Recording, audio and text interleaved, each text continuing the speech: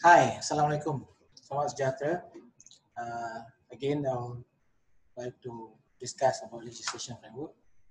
And uh, you can see this uh, information behind here. Here we have the international treaty. Okay, we begin here.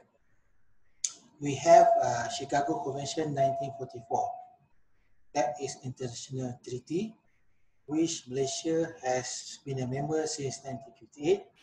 We have to ratify as a member and the ratification is by bringing those standard and recommended practices as in the convention to the Malaysian regulations. So we brought it into the country through uh, the mandate through the power given by the Civil Aviation Act 1969 Section 3 of the Act 1969, Civil Aviation Act 1999, gave power the minister to write regulations. So the minister write the regulation, Malaysian Civil Aviation Regulation 2016.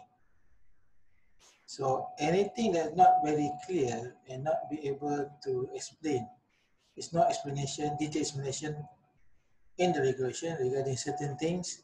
So the Act has given the power to the CEO to write subsidiary regulation, which we call it uh, in, under the 24 section 24, give the power to the CEO to write the detailed requirements in the regulation. They are in the form of notices, directive, circulars, information, and requirements. As we are very familiar with aircraft airworthiness, and you go to airworthiness division, airworthiness section of the CA, and they produce, they write the notices approved by the CEO. So, so you can see airworthiness use a lot of notices and flight op, for example, using a lot of directives. So this is the framework from the ICAO. Uh, it's a treaty, Convention 1944, ICAO Convention 1944.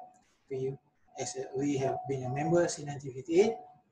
And then as a member, we sign off to ICAO membership and then we have to ratify the treaty and we have to bring all the standard recommended practices published by ICAO into Malaysia and to legalize, to bring into the country had to be brought through our legislative, legislative body, which is the parliament, where they published the Civil Aviation Act 1969 and the Act Section 3 uh, give the power to the minister to write regulations.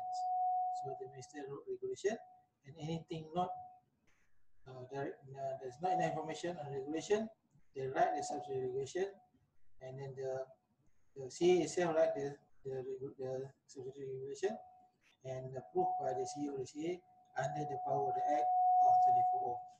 Other than that, there also another Act. It's also uh, not just uh, civil, uh, not just the air, uh, ACU.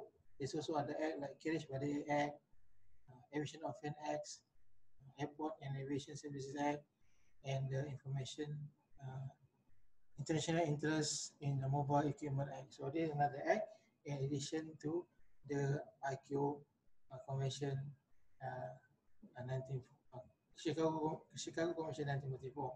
Those are treaty, international treaty, which they bring it through the Civil Act 1969. There's also a few treaties, a few bilateral meeting, a few uh, international uh, international treaty signed up and Malaysia ratified through this act. Thank you.